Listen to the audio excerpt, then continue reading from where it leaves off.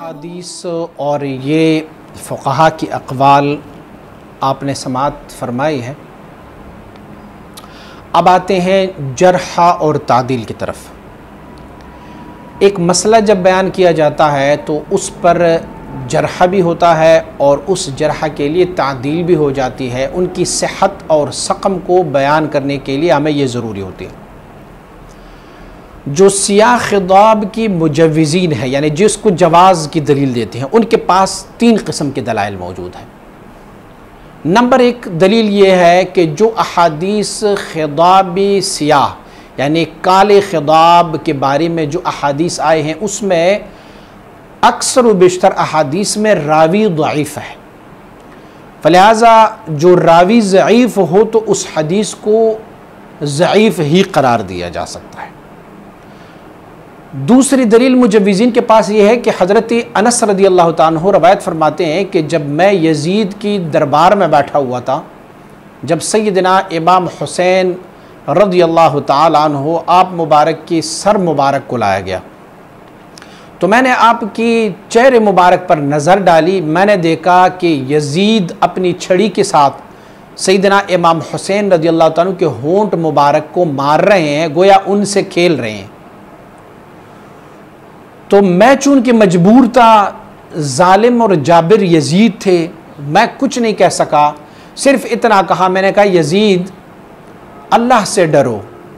ये वो होंठ है जिसे मैंने बारहा देखा है कि मेरे आका सल्लल्लाहु अलैहि वसल्लम इन होठों का बोसा लिया करते होते थे। और आप फरमाते हैं कि मैंने सईदना इमाम हुसैन रदी के सर मुबारक और दाढ़ी मुबारक के बालों को देखा तो वो दाढ़ी और बालों की जो रंग कलर था, वो सियाता बिल वसमते। लफ्ज़ उन्होंने वसमे का ज़िक्र किया हुआ है कि बिल वसमते, वसमे में, वसमे पर उन्होंने अपने बालों को सर और दाढ़ी के बाल मुबारक को सिया किए हुए थे, यानी खिदाबी सिया लगाया था। ये दूसरी दलील है मुजविज़ीन की। और तीसरी दलील ये है कि आप अहादीस तयबा में अक्सर और फ़ुकहा के अकवाल में भी अक्सर देखेंगे कि उसमें लफ्ज़ मकरू आया हुआ है, कराहियत आई है, यकरहो वकुरहा मकरू ये अल्फाज आए हुए हैं। तो फलिहाजा मकरू से मुराद और मकसद हराम नहीं लिया जा सकता। माँ यतनज़ मिन हो नफ्स, जिससे नफ्स मुतनज़ रहे, नफ्स उसे ना माने, कोई बंदी की आदत उसको ना माने, उसे भी एक मकरू कहा जा सकता है, जिसको मकरू ही तनजी ही कहा जाता है। आइए इन तीन मुजवज़ीन की दलाइल का जवाब दे देते हैं। सबसे पहले दलील उनकी ये थी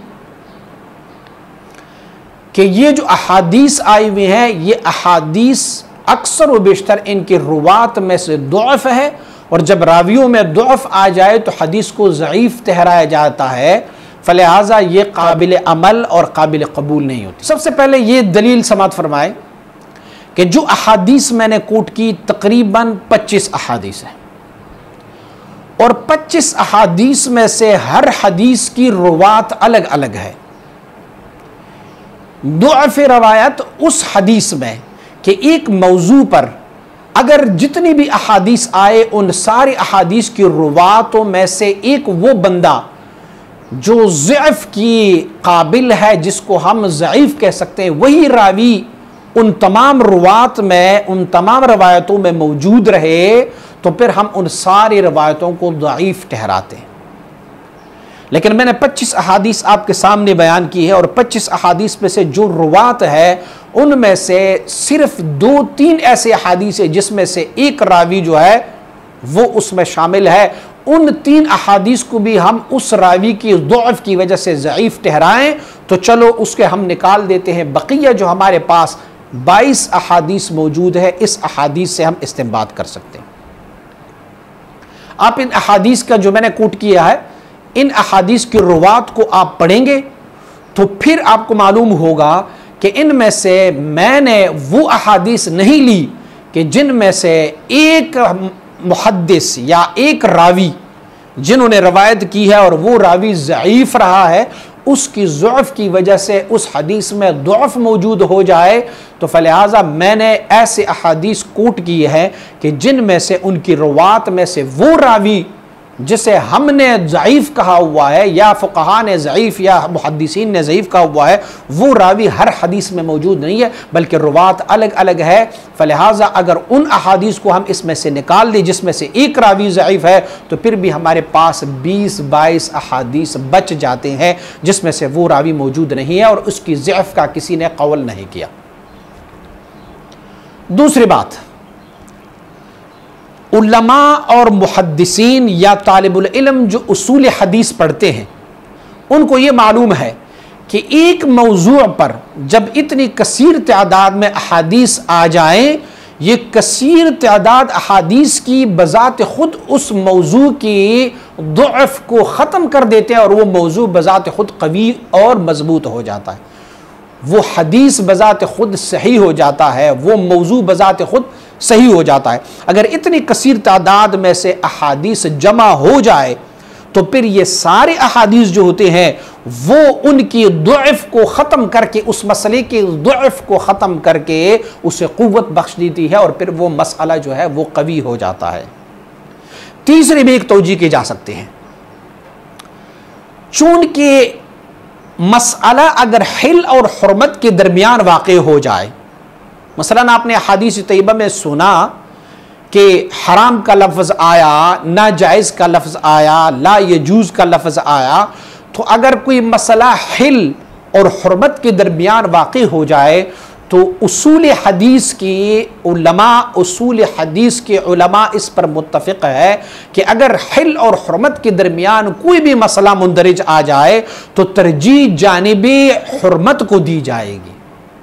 तरजीह जानब हरमत को दी जाएगी।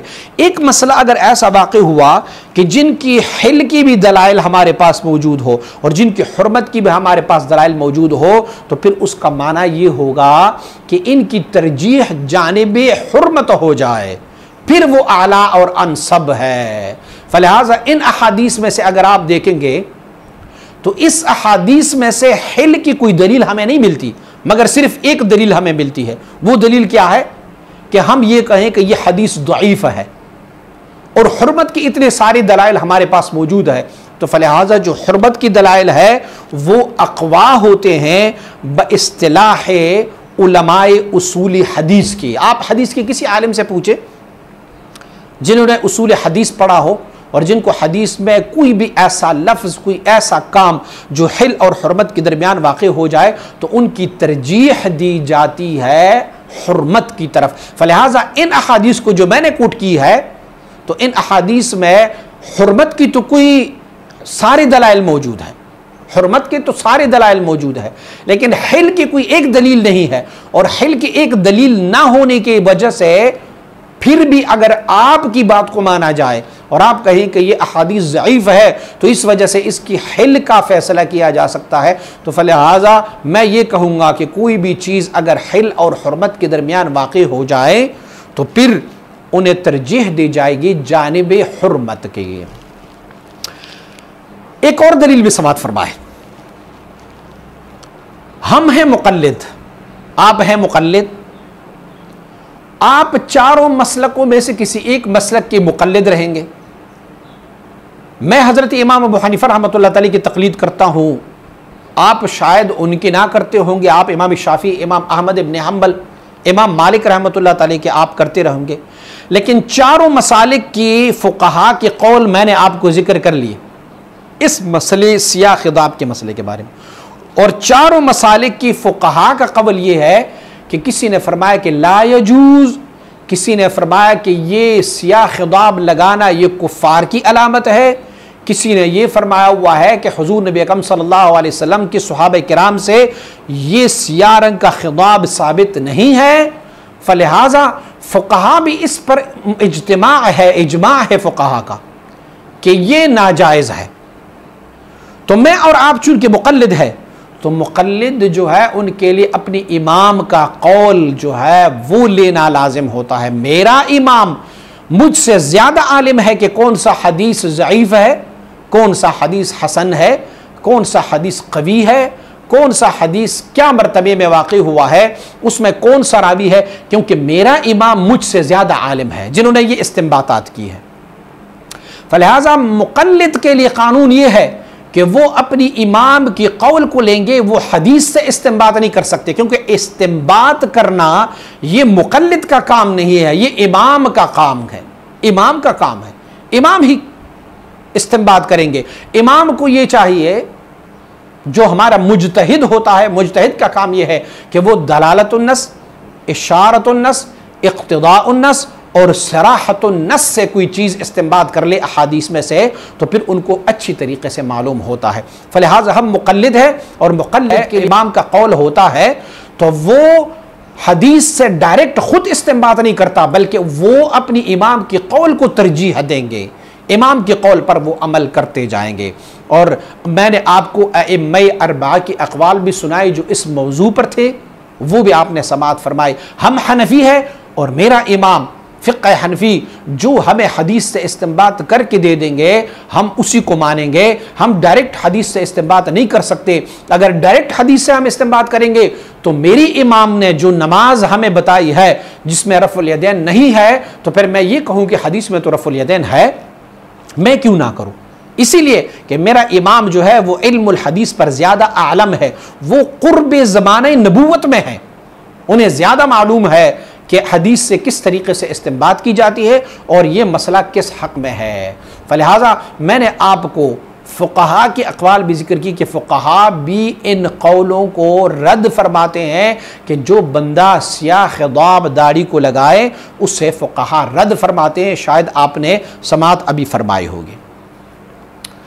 मुजवज़ीन की जो तीसरी दलील है, वो ये कहते हैं कि सैदना अनस रदी अल्लाह तु की इस हदीस शरीफ को वो रकल फरमाते हैं कि मैं यजीद के दरबार में रहा और सैदना इमाम हुसैन रदी अल्लाह तु के सर मुबारक को लाया गया बित तफसील हदीस आपने समात फरमाई और उस हदीस की जेल में है कि हज़रत अनस इबन मालिक रदी अल्लाह तु आप फरमाते हैं कि मैंने सईदना इमाम हुसैन रदी अल्लाह तु के सर मुबारक और चेहरे मुबारक को देखा कि आपके सर और चेहरे मुबारक के बाल मुबारक को सिया खिदाब बिलवस्म लगाया गया था। आइए इसका जवाब दे देते हैं। आपको मालूम है कि सईदना इमाम हुसैन रदी अल्लाह तु आप मुबारक। आप कहाँ पर जाम शहादत नोश फरमा गए थे? आप करबला में शहीद हुए थे।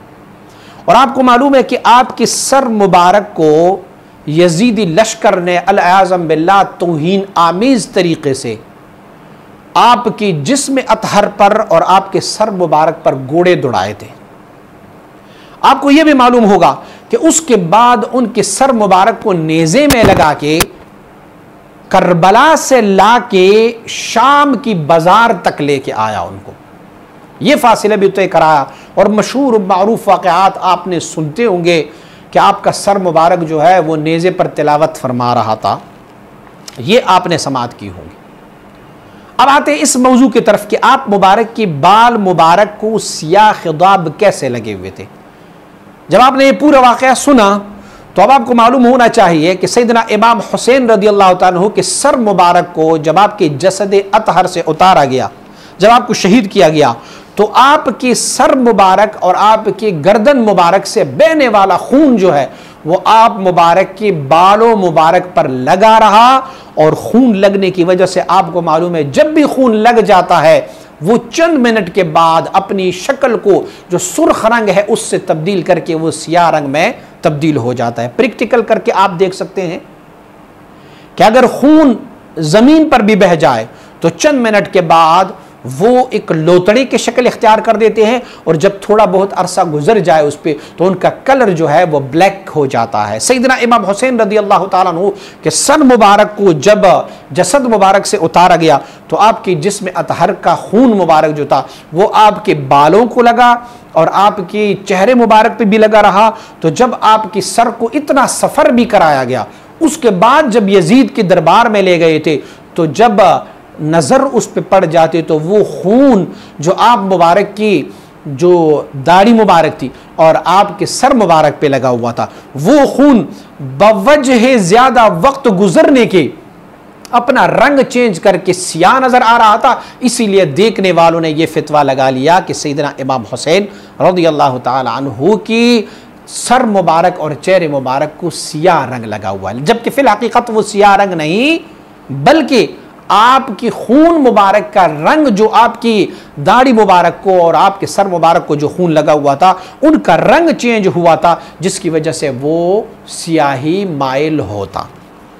दूसरी दलील समात फरमाए ये भी हम समझ ले या जान ले, कबूल कर ले कि सही सैदना इमाम हुसैन रदी अल्लाह तु ने वसमा लगाया था और सियाह रंग का वसमा लगाया हुआ था। तो उनकी भी जवाज़ की एक दलील हमारे पास मौजूद है। कि सैदना इमाम हुसैन रदी अल्लाह तु हालत जहाद में थे। आपको मालूम है कि कितनी बड़ी कुर्बानी आपने दी है और आप हालत जहाद में थे। तो हालत जहाद में मैंने हदीस भी कोट की और फ़ुकहा के अखबाल भी कि हम भी इस बात के कायल है कि हालत जहाद में मुजाहिदीन लिल इरहाब अपनी हैबत और रोहबत दुश्मन के दिलों में बिटाने के लिए अपने चेहरे पर, अपने चेहरे के दाढ़ी पर, अपने सर के बालों पर वो सिया खिताब लगा सकते हैं। तो अगर हम ये बिलफर्ज व तकदीर मान भी ले कि सईदना इमाम हुसैन रदी अल्लाह तु आप मुबारक के सर मुबारक और बालों को सियाह रंग लगा हुआ था। ये मान भी लिया तो भी उनके लिए दलील ये है कि आप मुबारक हालत जहाद में थे और जब कोई हालत जहाद में होता है तो मुजाहिदीन के लिए हम इस चीज़ की जवाब दे देते हैं कि वो अपनी दाढ़ी को सियाह खिताब लगा सकते हैं। तीसरा जवाब समात फरमाए। आप मुबारक को जो हज़रत अनस रदी अल्लाह ने रवायत की है कि आप यख्तबो बिल वस्मा उस वक्त आप मुबारक की, चेहरा मुबारक की, दाढ़ी मुबारक पर सियाह रंग का वस्मा खिदाब लगाया हुआ था वस्मे के साथ। तो आपको मालूम है कि वस्मा बिल्कुल ब्लैक होता है और वस्मे के साथ लफ्ज खिदाब आया हुआ है। खिदाब हमें मालूम है कि खिदाब किसको कहते हैं? तो खिदाब और वस्मे को, यानी मेहंदी और वस्मे को अगर मिलाया जाए तो उसका रंग जो है वो डार्क ब्राउन हो जाता है। और डार्क ब्राउन रंग उस पर अगर खून की आमेजिश भी आ जाए तो वो बिल्कुल ब्लैक ही दिखाई देता है। ये तो जिहाद है हज़रत इमाम हुसैन रदी अल्लाह के सर और बाल मुबारक की। बालों को सिया रंग नज़र आने की तो जिहाद, ये तीन तो जिहाद है। अगली दलील भी समात फरमाए। जिन जिन सुहाब कराम के बारे में ये दलील दी जाती है कि उन सबको, कि उन्होंने खिताब लगाया हुआ है और सियाह खिताब लगाया हुआ है। जो मुजवज़ीन है, उन्होंने कुछ सहाब कराम रिजवान मजमाइन की दलाइल को लिए हुए हैं कि उन्होंने वो वो दलीलों के साथ इन इन सहाब कराम ने सिया खिताब लगाया हुआ था। तो उनकी खिदमत में अर्ज़ यह है कि जिन जिन सहाब कराम रिजवान के बारे में दलील दी जाती है कि उन्होंने सिया खिताब लगाया है, उन सब के हालात को पढ़ते हुए वाज तौर पर यह बात साबित हो जाती है कि वो सहाब कराम खिताब लगाया करते थे, वस्मा नहीं लगाते थे। आप उनके हालात को देखें ना तो उसमें लफ्ज़ क्या आता है? उसमें लफ्ज़ ये आता है कि फ़लाँ सहाबी खिताब लगाया करते होते थे सियाह। खिदाब लगाया करते होते थे सियाह। और मैं पहले अर्ज़ कर चुका हूँ कि खिदाब की तारीफ़ क्या है? खिदाब की तारीफ़ यह है कि वस्मा और जिसको या कतम कहते हैं, उस जमाने में कोई बूटा होता था कतम और हिना को जब इकट्ठा किया जाता है, मेहंदी और कतम को इकट्ठा किया जाता है उससे लगाया जाता है तो फिर उनका रंग जो है वो डार्क ब्राउन लग जाता है। और जिन जिन सुहाब कराम को मुशाहिदा किया गया है, जिन सुहाब कराम के बारे में रवायत है तो उसमें लफ्ज खिदाब है। खिदाब बिसऊद या खिदाब बिसवाद कहते होते थे। खिदाब की मानी यह है कि वसमा और मेहंदी मिलाया जाए या कतम और मेहंदी को मिलाया जाए। तो कतम और मेहंदी को मिलाने से, वसम और मेहंदी को मिलाने से फिर क्या होता है? वो डार्क ब्राउन बन जाता है। इसीलिए उन सुहाब कराम के बारे में भी ये लफ्ज़ ममनू नज़र आती है कि उन्होंने भी सिया लगाया हुआ था, बल्कि उन्होंने भी डार्क ब्राउन ही लगाया था।